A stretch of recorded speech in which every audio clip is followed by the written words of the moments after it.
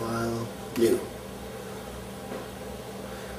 And it's a little red button, just like an old-fashioned tape deck. Record.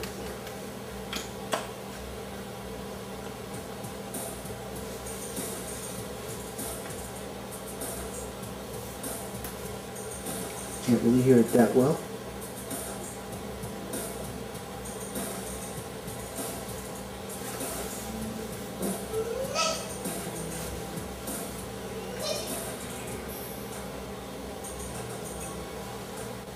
Gonna pause it now until it records the whole song.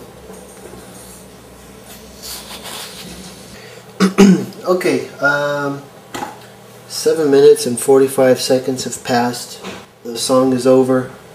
I've stopped recording and you can see the wave file, all the silence here, how it's over.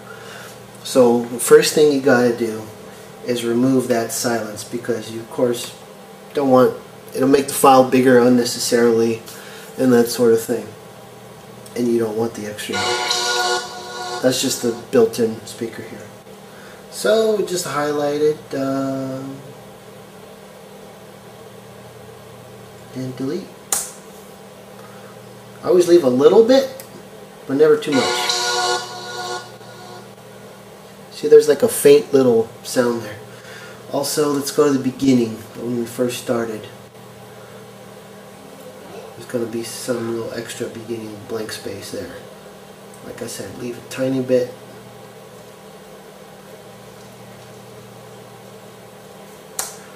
Some guys um, will put their files through all these sound processors to eliminate noise and get rid of little clicks and stuff.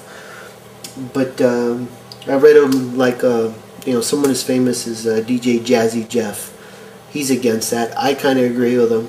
Um, it gets rid of the true vinyl sound, and you know, you want to you want it to sound how it's supposed to sound.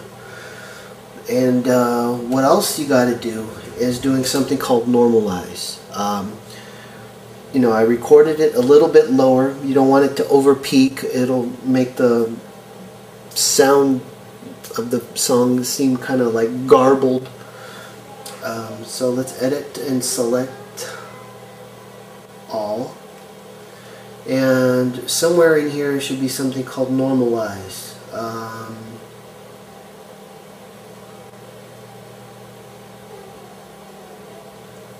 here we go. It's under effect and normalize. Remove any DC offset, normalize, maximum. Sure, okay. Now sometimes it'll increase the volume or decrease the volume if your levels are too high. Um, like I said, you don't want to go too high on the mixer. When we first started, you saw how the little waves were like all the way up to the top, and that means it's too loud. Just like the old days when you're recording onto a cassette. Um, maybe some of you aren't from the old days like I am, but you used to record your mixes on a little tape deck, and if you had your levels too high, and we're watching your levels on your mixer as you're going, you'll uh, you know have this horrible sounding mix. So it looks like it's finished, and now all we do is file, save, export as MP3.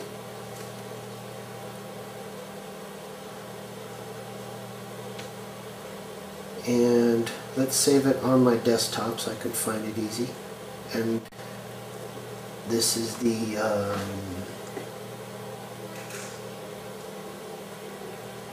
Why You Treat Me So Bad Club Mix. So I'll just call it Club Mix for now. Club Mix. Save. And it, uh, yeah, here you go. Ask me all the track information, all this kind of stuff.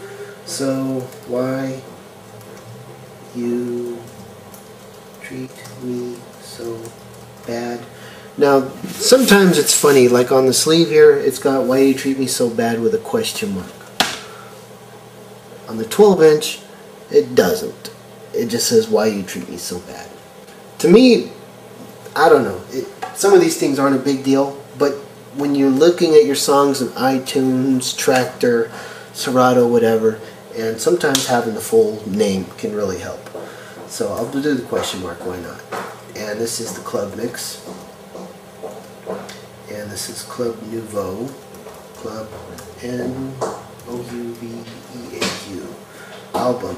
This is the Why You Treat Me So Bad 12 inch. Track number one.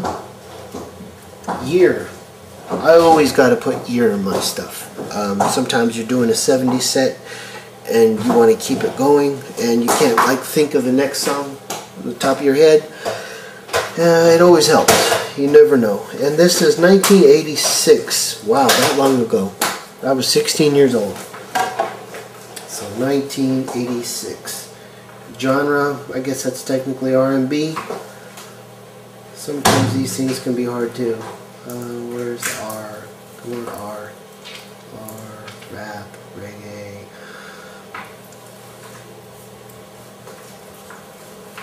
Jeez, there's a million.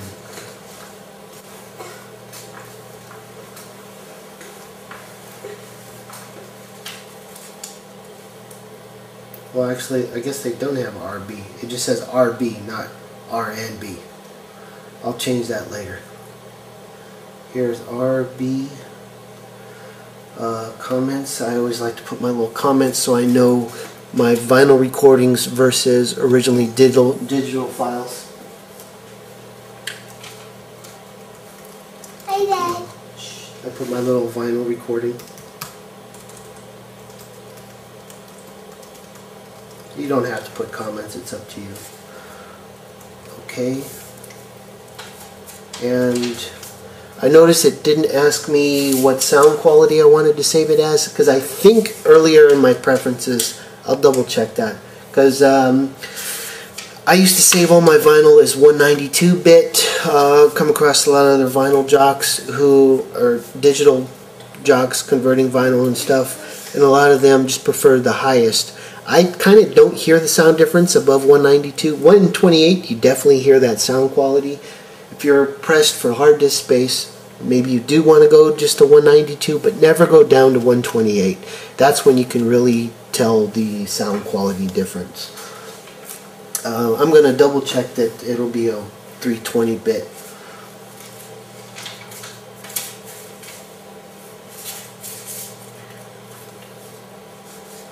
Let's see, under File, I believe Preferences somewhere. Audacity, Preferences, um, File Formats, Quality,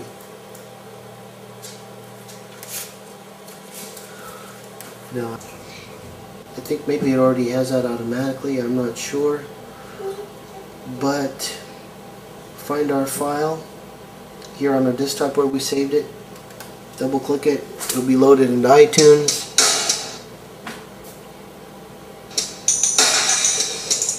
Final touches for me are easily adding the BPM.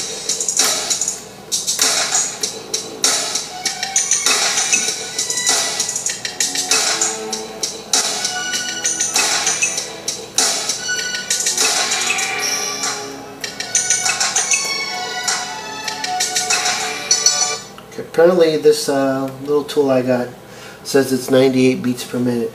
That's a little free tool I found called iTunes BPM.